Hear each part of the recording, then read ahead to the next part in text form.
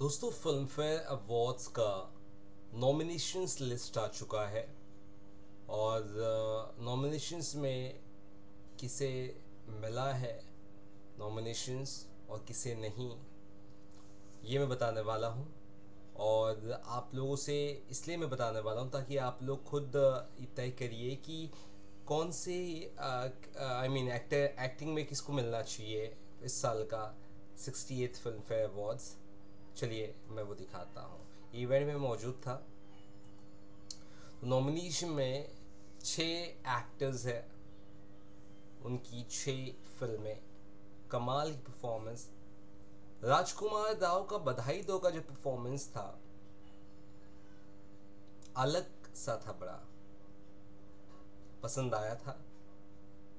कार्तिक आर्यन नहीं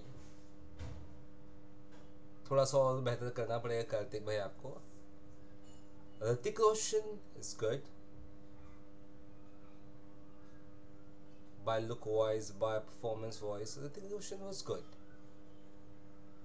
Ajay Devgn was in on style Ajay Devgn का काम अच्छा था लेकिन दृश्यम वाला जो इम्पैक्ट था वो थोड़ा बहुत मिसिंग था। अच्छा था नो no डाउट ऐसे नहीं बोलूँगा अच्छा नहीं था। परफॉर्मेंस सबकी अच्छी है, लेकिन क्या है ना, कोई परफॉर्मेंस इतनी अच्छी होती है कि आप दूसरी परफॉर्मेंस को इग्नोर कर देते हो या फिर उतना आपको नहीं मज़ा आता। जैसे कि अमिताभ बच्चन का परफॉर्मेंस ऊंचाई का एक नंबर था एंड सदी के महानायक है we can't compare his performance with anyone else right तो Amitabh Bachchan is clear clear contender to win this award एक तो ये, अनुपम खेर है द कश्मीर फाइल्स के लिए। और अनुपम खेर ने जो रोल निभा दिया कश्मीर फ़ाइल में, भले ही इस फ़िल्म पे आलोचना उठी हो, जो भी हो, लेकिन अनुपम खेर का कश्मीर फ़ाइल का परफॉर्मेंस बड़ा ही पर्सनल था उनके लिए भी, क्योंकि वो कश्मीरी पंडित भी है। और मेरे ख्याल से जीतना इन्हें चाहिए, या तो फिर अमिताभ बच्चन को।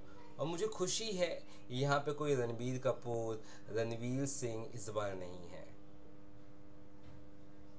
अजय देवगन को बहुत वक्त के बाद इंक्लूड किया है। हाँ अक्षय कुमार की छः छः फ़िल्में आई। उनमें से एक फ़िल्मों को भी यहाँ पे इंक्लूड नहीं किया है। बुरा लगता है, लेकिन क्या कर सकते हैं? तो इन छ नॉमिनेशंस में दोस्तों क्या लगता है? किसे जीतना चाहिए? ज़रूर कमेंट बॉक्स में बताइएगा। वैसे सत्ताईस तारीख को ये फ़िल्म फेयर मुंबई में बीकेसी में होने वाला है। दो दिन बाद। तो हमें पता चल ही जाएगा, लेकिन आपको क्या लगता है कौन जीतना चाहिए?